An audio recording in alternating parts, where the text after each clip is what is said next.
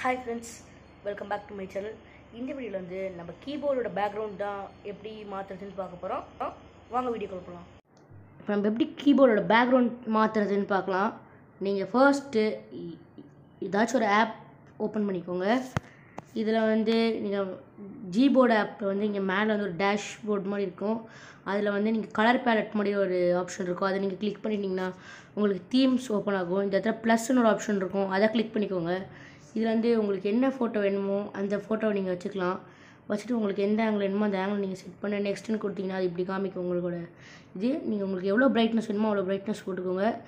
Best நீங்கள் ஒரு fifty கொடுத்தாலே உங்களுக்கு ஓகேவாக இருக்கும். ஏன்னா நீங்கள் நிறைய கொடுத்தீங்கன்னா உங்களோட கீபோர்டில் இருக்க லெட்டர்ஸ் உங்களுக்கு தெரியாது. நீங்கள் டன்னு கொடுத்துட்டு இங்கே கீ பார்டர்ஸ்னு ஆப்ஷன் இருக்கும். அதை கிளிக் பண்ணால் உங்களுக்கு பார்டர் வரும். வேணும்னா போட்டுக்கலாம் வேணா விட்டுடலாம் நீங்கள் அப்ளை கொடுத்தீங்கன்னா உங்களுக்கு அப்ளை ஆயிரும். பாருங்கள் உங்கள் கீபோர்ட் மாறிடுச்சு.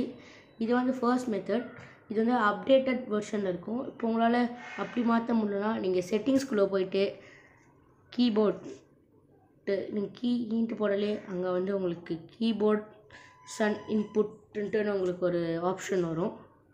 கீபோர்ட் இன்புட் மெத்தட் அதை கிளிக் பண்ணிட்டு ஜிபோர்ட் ஆப்ஷன் கிளிக் பண்ணிட்டு இங்கே தீம்னு இருக்கும். இதை கிளிக் பண்ணிட்டு இதில் ஆல்ரெடி உங்களுக்கு நிறைய கலர்ஸ் தீம்ஸ்லாம் கொடுத்துருப்பாங்க. உங்களுக்கு வேணால் சூஸ் பண்ணிக்கலாம்.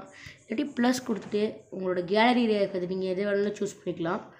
அதே மாதிரி தான் நான் சொன்ன மாதிரி கிளிக் பண்ணிவிட்டு நீங்கள் பிரைட்னஸ் எவ்வளோ வேணுமோ கொடுத்துக்கலாம். அப்புறம் உங்களுக்கு கீபோர்டர் வேணுன்னா கொடுத்துக்கலாம். இல்லாட்டி விட்டுடலாம் நீங்கள் அப்ளை கொடுத்தீங்கன்னா உங்களுக்கு அப்ளை ஆயிரும். அப்புறம் நீங்கள் வந்து இப்போ சும்மா போய் செக் பண்ணி பார்த்தா இப்போ உங்களுக்கு தெரிஞ்சிடும் இப்போ வந்து அவ்வளோதான் உங்களோட ஈஸியாக நீங்கள் வந்து உங்கள் கீபோர்ட் பேக்ரவுண்டை மாற்றலாம் ஸோ தேங்க்ஸ் ஃபார் வாட்சிங் மை வீடியோ லைக் பண்ணுங்கள் ஷேர் பண்ணுங்கள் சப்ஸ்கிரைப் பண்ணுங்கள் ஏதாவது டவுட் இருந்துச்சுன்னா கமெண்ட்டில் கேளுங்கள்